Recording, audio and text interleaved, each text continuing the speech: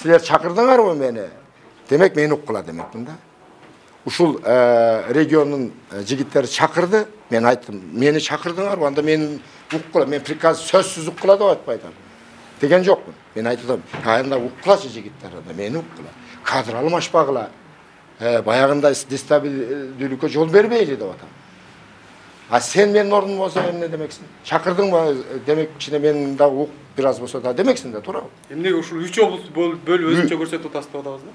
Үч облустун жарандары чакырса мен ошол үч областтын нарындыкка чакырса мен айтып атмакмын нарындыктар.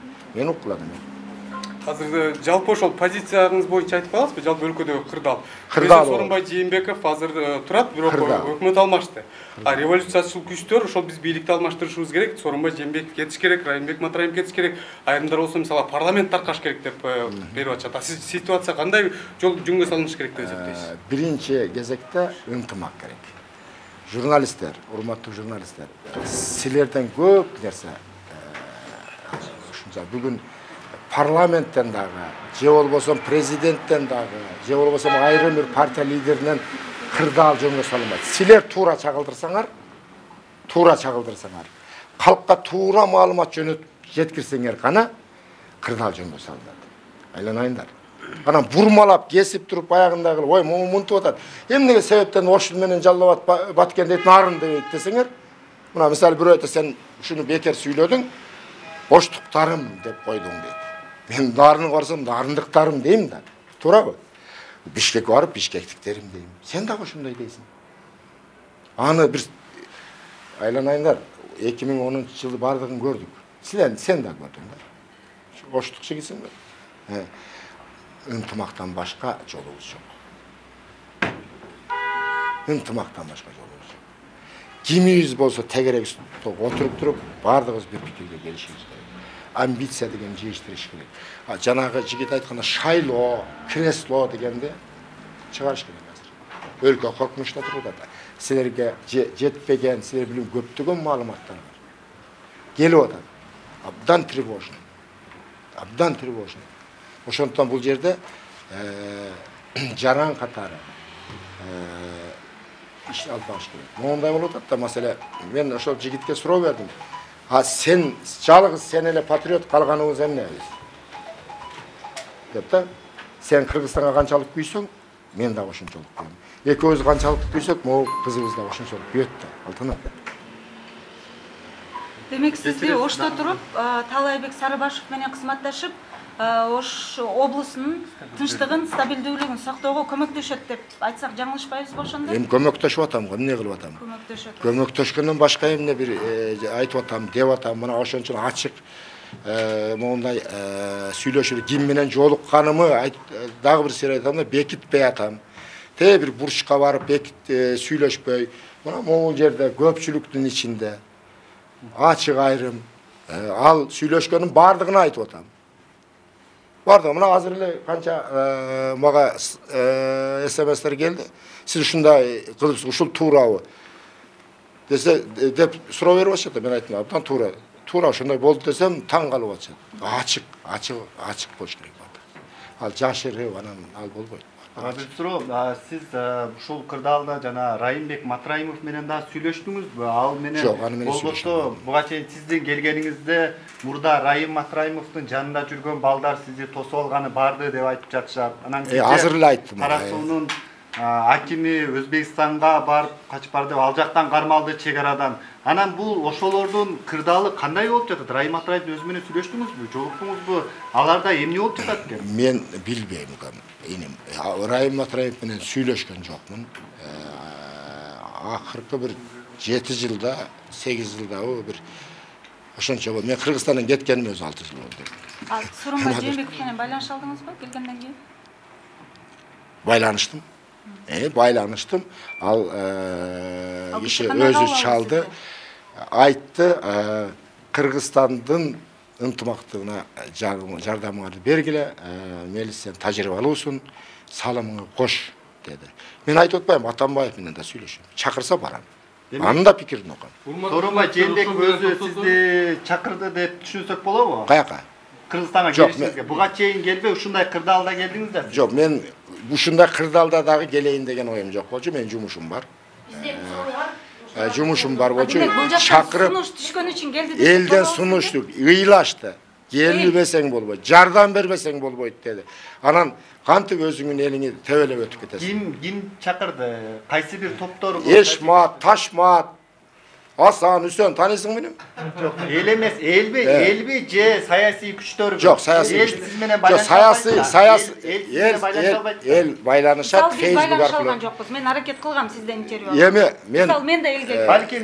жээнбеков өзү чакырдыбы президент жок жок жээнбек чакырган жок ал ал чакырган жок ал киши чакырган жок дедиңиз го келгенде жок мен келгенден кийин кел- келипсиң деп чалды келгенден кийин мен чалган жокмун ал киши чалды азыр эми ушул бир суроо берип коеюнчу азыр жана ынтымакка келиш керек деп себеби чалайын десем телефонун билбейт болчумун ал азыр бишкекте ушундай ынтымакка келе албай жатышат сиз кандай жолун мындай көрүп жатасыз кандай кылса туура болот себеби бири талаасына бири менен Саясий- ыйыктары келишпейт кризисти чечүүнүн кандай саясий кризисти чечүү үчүн саясатчылар партия лидерлери куйтулугун токтотуш керек куйтулугун токтотуш керек элди алдап эки сүйлөбөш керек эки сүйлөбөш керек ушундай кырдаалда өлкөнү ойлобой топ топ болуп отуруп кресло эртеңки шайлоону ойлоп атышат бүгүн могу жерге кадрыбызды кое койсок эртең шайлоодо иштеп берет деп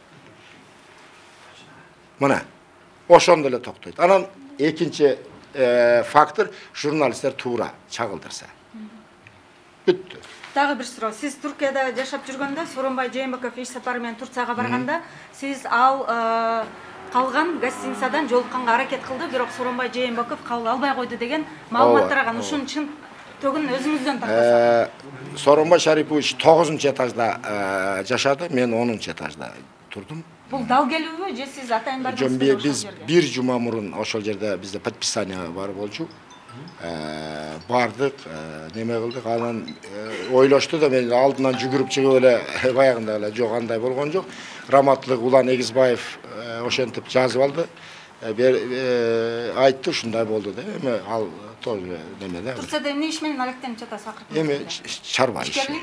чарба иштери зор рахмат урматтуу журналист аракетиңиз кандай болот мисалы сиздин өзүңүздүн жеке маселеңиз дагы бар да маселен кыргызстанга келсе камалат деп буга чейин дагы маалыматтар чыккан болчу өзүңүздүн ишиңиз эмне болуп атат сотторго кайрылдыңызбы мен сага айтып берейин мен эки миң он алтынчы жылы атамбаев президент болуп турганда кылмыш курамынын жоктугуна байланыштуу акталсын деген миң он алтынчы жылы.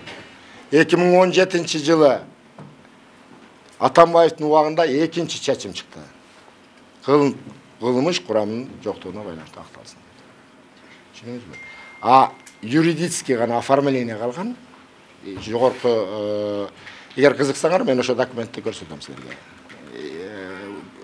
айрым кирсеңер көрсөтөм мен азыр азыр азыр бир мүнөт мен суроо берип кой- неме коеюн анан ал эгер ушундай өлкө кырдаал курчуп турганда мен ал жеке кызыкчылыгым менен алектенгенге убактым болбойт мен адвокаттарым але- алектенип атат айтып атпаймынбы амбицияны жыйыштырыш керек да эми элдин баары билет менин ак экенимди эртели кеч ал э, юридический оформление болот Э, сен кайсы т немедесиң медиа т медиа деген. Т медиадан болсоң анда э, эртеңби бирсү күнү кол бошогондо же үйгө деле бар мен баягы документтерди көрсөтөм баягы акталды деген. Макул Езешбаев бир суроо жарандык фондон түшүп атат. Мына биз азыр жарандык ой гүлгакы кандайсың? Келе кой келе кой кел рахмат рахмат. А, Мына жарандык фондон суроо түшүп атат. Сиз бул жерге ошол стабилдүүлүктү сактаганы жардам бергени келипсиз, а? Ооба. Эгерде ста- стабилдүүлүк бузулуп, сырттан келген күчтөр провокация кылып, тополоң чыгып кетсе, сиз ошол жоопкерчиликти тең бөлүшүүгө даярсызбы?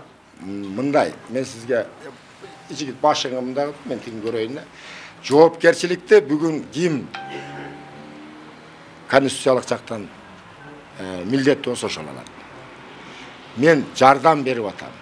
Мен колуман келгенди жасап атам. Э, мен юри- юридикалык жагын айтып атам да. А бирок эгер кудай сактасын бир нерсе сен дагы мен дагы баардыгыбыз моралдык жактан жоопкерчиликтүүбүз ошондон баардыгыбыз Статусуңуз белгисиз. ба баардыгыбыз баардыгыбыз жоопкербиз баардыгыбыз жоопкербиз ушуну эсиңизден чыгарбаңыздар мен журналист элем мен энпоч элем эмес баардыгыбыз эми жоопкер экинчи суроо шайлоого барасызбы азыр мен күндөн кийин мен азыр бул жигитке айттым да шайлоо креслону мээңерден чыгарып тургулачы айланайындар мына өлкө коркунучта турат өлкө коркунучта турат да ошонун баардыгы шайлоодон болуп атат могу интригалардын баардыгы шайлоону чыгарайлы дагы мынау стабилдүүлүктү ордуна келтирели мына стабилдүүлүктү орнотуу деп атасыз ошто стабилдүү болбой атат абалчы мисалы алтынбек сулаймановдун спорттук э, спорт менен машыккан жигиттери күнүгө келип бул же- бул жерде эки тарап э, кагылышуу чыгып кетүү алдында турат. Мисалы тынчтыкты орнотобуз деп атасыз кандай кадамдар жасап атасыз? Алтынбек сулаймановго чыгып э э, ошол спорттук спорт менен машыккан балдарыңды тартипке чакыр же дагы башка бир мындай чакырууга бардыңызбы мисалы? Эми мен жаңы Кантип орнотуп атасыздар жаңы неме кылып- консультация кылып атабыз. Эми кимдир бирөө кабыл алып атат кимдир бирөө макул деп чыгып башка иш башка иш кылып атат бирөө жалган сүйлөп атат дегендей да. Алтынбек сулайбанов кыргыздын эң мыкты жигиттеринин бири абдан мыкты жигиттердин бири Э, ал алтынбек сулаймановдун спортсмениби же башка спортсмениби мен билбейм кара сууга бир бандитти отургузуп коюптур десем э, журналист айтты ал бандит эмес деди мен айттым мага айтышканын айтып атам бандит эмес болсо абдан жакшы экен мен бандит бандит экенин билбейм эми мен ушундай болуптур эми деп Мү- мүмкүн мыкты жигиттер мени да бандит дешкен. Ошол алтынбек сулаймановду эле бандит деп айтат де- дешкен. Баардыгын эле ошондой кыргыз жабыштыра берет экен да анан эми бир жакшына жигит аким болсо маселен аны э, бандитсин деп эле жамай бербей эле мүмкүн бандит эместир мүмкүн ошол мен э, мага жалган информация келгендир ошондуктан э, алтынбек сулаймановдун балдары башкасыбы мен билбейм. Бирок ошентип айтып атышат э, так деп. Алтынбек сулайманов э, ойлойм мен ал дагы мыйзамдуулукту колдойт а өзүнө түз байланышка чыктыңызбы жок чыга элекпиз пока. Азырынча жок телефондорун билбейм. Э, тактоо үчүн эле суроо ошондо сиз асылбек жээнбеков менен сүйлөшүп жүргүздүм деп айттыңыз э ошондо ооба сүйлөшүп асылбек жээнбектин офисине бардым менден жаш улуу да.